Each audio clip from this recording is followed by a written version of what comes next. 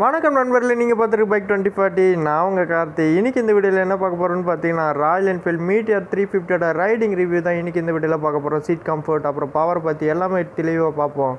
இப்போ வந்து பிரேக்கிங்கை வந்து டெஸ்ட் பண்ணி பார்ப்போம். இந்த மண் இருக்குது ஓரத்தில் அதில் வந்து பிரேக் அடித்து பார்ப்போம். எப்படி இருக்குன்னு?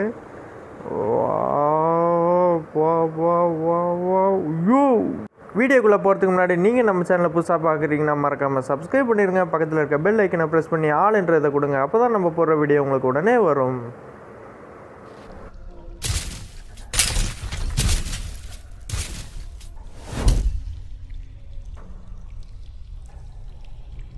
இன்னைக்கு இன்னைக்கு வந்து மீட்டியா த்ரீ ஃபிஃப்டியோட ரைடிங் ரிவ்யூ தான் இன்னைக்கு இந்த வீடியோவில் பார்க்க போகிறோம் சீட் கம்ஃபர்ட் எப்படி இருக்குது வைப்ரேஷன் லெவல் வந்து எந்த அளவு இருக்குது எல்லாத்தையும் பற்றி டீட்டெயிலாக பார்ப்போம்.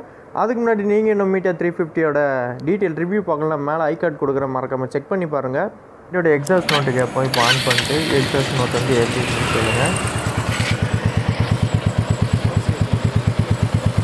ராயல் என்ஃபீல்ட்னாலே அந்த எக்ஸாஸ்ட் சவுண்டு தான் வேறு லெவலாக கொடுத்துருக்காங்க சொல்லணும். தரமாக இருக்குது. உங்களுக்கு எந்த அளவுக்கு கேட்குறது தெரியலாத வந்து கேட்டாலும் நீங்கள் வந்து ஃபீல் பண்ண முடியும் இதில் வந்து ஆடியோ குவாலிட்டி வந்து எந்த அளவு வந்து உங்களுக்கு கேட்குறது தெரியல ஆனால் வந்து நீங்கள் வந்து நேரில் கட்டிங்கன்னா கண்டிப்பாக நீங்கள் வந்து அதை ஃபீல் பண்ணலாம் அந்த அளவு வண்டியை ஸ்டார்ட் பண்ணிட்டு நம்ம வந்து ரைட் பண்ணி பார்ப்போம். ஃபஸ்ட் ரைடு எக்ஸ்பீரியன்ஸ் வந்து எப்படி இருக்குது வைப்ரேஷன் வந்து எந்த அளவு இருக்குது ஏன்னா ராயல் என்ஃபீல்டில் பார்த்தீங்கன்னா வைப்ரேஷன் வந்து ரொம்ப கம்மி பண்ணியிருக்காங்க. நான் வந்து ரிவ்யூவில் சொல்லியிருப்பேன். அது பார்க்கலாம். மேலே ஐ கார்டு கொடுக்குறேன் செக் பண்ணி பார்த்துக்கோங்க.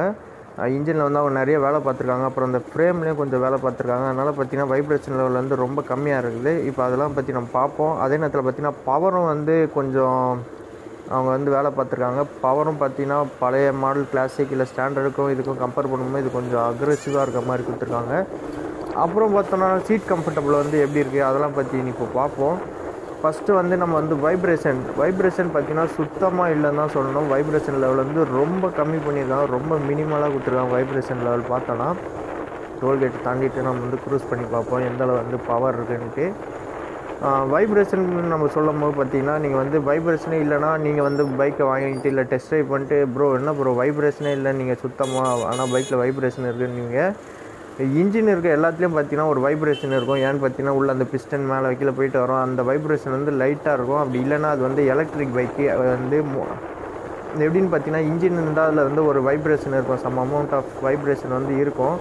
மோட்டரில் தான் பார்த்தீங்கன்னா சுத்தமாக வைப்ரேஷன் இருக்காது. நீங்கள் வந்து இன்ஜின்னு எடுத்துகிட்டு ஐசி இன்ஜின் எல்லாம் எடுத்துட்டிங்கன்னா நீங்கள் வந்து வைப்ரேஷன் இன்ஜினுக்குள்ளான வைப்ரேஷன் எல்லாம் அது பைக்கே இல்லைன்னு தான் சொல்லணும். அந்த இன்ஜின் வைப்ரேஷனை தவிர மற்ற வைப்ரேஷன் எதுவுமே இல்லை வந்து இல்லை. சுத்தமாக பழைய புல்லட்டை கம்பேர் பண்ணும்போது அவ்வளோ வந்து ஸ்மூத்தாக இருக்குது பைக் வந்து. அதுக்கப்புறம் ஹேண்ட்லிங்கும் பார்த்தா உங்களுக்கு வந்து நல்லா அப்ரைட் பொசிஷனாக கொடுத்துருக்காங்க. செம்மையாக இருக்குது. இப்போ வந்து நம்ம க்ரூஸ் பண்ணி பார்ப்போம் எப்படி போகுதுன்னா. அசால்ட்டாக பார்த்தீங்கன்னா ஹண்ட்ரட் வரைக்கும் பார்த்தீங்கன்னா உங்களுக்கு வந்து ஈஸியாக போகுது. பார்த்தாலே தெரியும் உங்களுக்கு செம்மையாக கொடுத்துறாங்கன்னா சொல்லணும். ராயல் என்ஃபீல்டு வந்து இனிமேல் வர்றவங்க எல்லா பைக்லேயும் பார்த்தீங்கன்னா இந்த இன்ஜின் வைப்ரேஷன் வந்து ரொம்ப கம்மி பண்ணுறதா வந்து சொல்லியிருக்காங்க. அதுமாதிரி அப்கமிங் பைக்லாம் பார்த்தீங்கன்னா இன்ஜின் வந்து கொஞ்சம் சேஞ்ச் பண்ணுற மாதிரி தான் சொல்லியிருக்காங்க. மேபி கிளாசிக் த்ரீ ஃபிஃப்டி இதெல்லாம் கூட உங்களுக்கு வந்து இன்ஜின் வந்து சேஞ்ச் ஆகும் இனி வர இதில் பார்த்தீங்கன்னா அந்த வீடியோவும் வந்து நீங்கள் இன்னும் பார்க்கலன்னா மேலே ஐ கொடுக்குறேன். செக் பண்ணி பார்த்துக்கோங்க. நியூ கிளாசிக் த்ரீ ஃபிஃப்டியோட லீக் வீடியோ வந்து மேலே இருக்குது ஐ கொடுக்குறேன். செக் பண்ணி பார்த்துக்கோங்க. பவர் வந்து சும்மா வேறு லெவலாக கொடுத்துருவாங்க. சொல்கிறேன் நீங்கள் வந்து அசால்ட்டாக ஒரு ஹண்ட்ரட் ஒன் டென் இதெல்லாம் பார்த்தீங்கன்னா நீங்கள் வந்து க்ரூஸ் பண்ணிவிட்டு போயிட்டே இருக்கலாம். பழைய புல்லட்லாம் பார்த்தீங்கன்னா நேற்று கையெல்லாம் உதற ஆரம்பிச்சிடும் மிரரில் பார்த்தீங்கன்னா பார்த்தீங்கன்னா சுத்தமாக எதுவுமே தெரியாது. மிரரே அப்படி வைப்ரேட் ஆகிட்டு இருக்கும். ஆனால் இதில் வந்து அந்த மாதிரி எந்த ஒரு ஃபால்ட்டுமே இல்லை. ஸ்மூத்தாக போகுது. வண்டி பார்த்திங்கன்னா செம்மையாக இருக்குதுன்னு சொன்னோம் வேறு பட்டர் ஸ்மூத்தாக இருக்குது.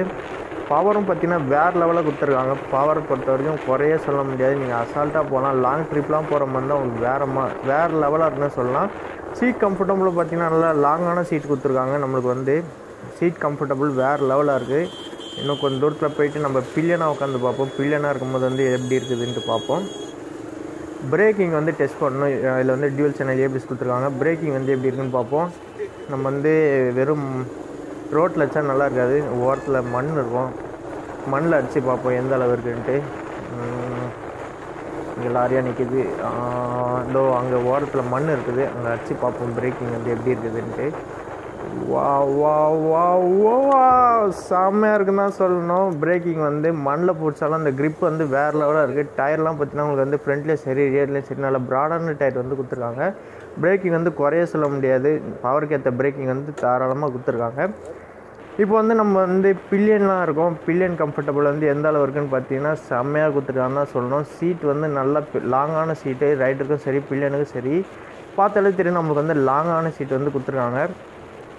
சீட் குஷனிங்கும் பார்த்தீங்கன்னா செம்ம சாஃப்டாக கொடுத்துருக்காங்க சொல்லணும். அது பில்லியனுக்கு பார்த்தீங்கன்னா இந்த பின்னாடி சாயத்துக்கு வர கொடுத்துருக்காங்களா வேறு லெவலாக இருக்குது நீங்கள் வந்து ஒரு ரெண்டு பேரெல்லாம் சேர்ந்து ட்ரிப்லாம் போகிற மாதிரி இருந்தால் கண்டிப்பாக இந்த பைக் வந்து வேறு லெவலாக இருக்குன்னு தான் சொல்லலாம் நீங்கள் வந்து எவ்வளோ தூரம் வேணாலும் போனால் அசால்ட்டாக இந்த பைக்கில் வந்து உங்களுக்கு பேக் பெயின் எந்த ஷோல்டர் பெயின் எதுவுமே வராது.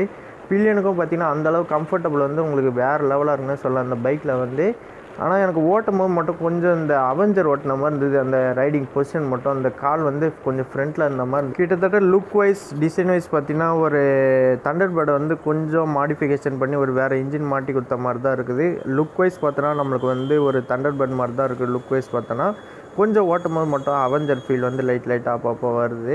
மற்றபடி வண்டி வந்து செம்ம ஸ்மூத்தாக இருக்குது பட்டர் ஸ்மூத் தான் வேறு லெவலாக இருக்குது நீங்கள் வந்து கண்டிப்பாக இந்த பைக் வந்து வாங்கலாம்.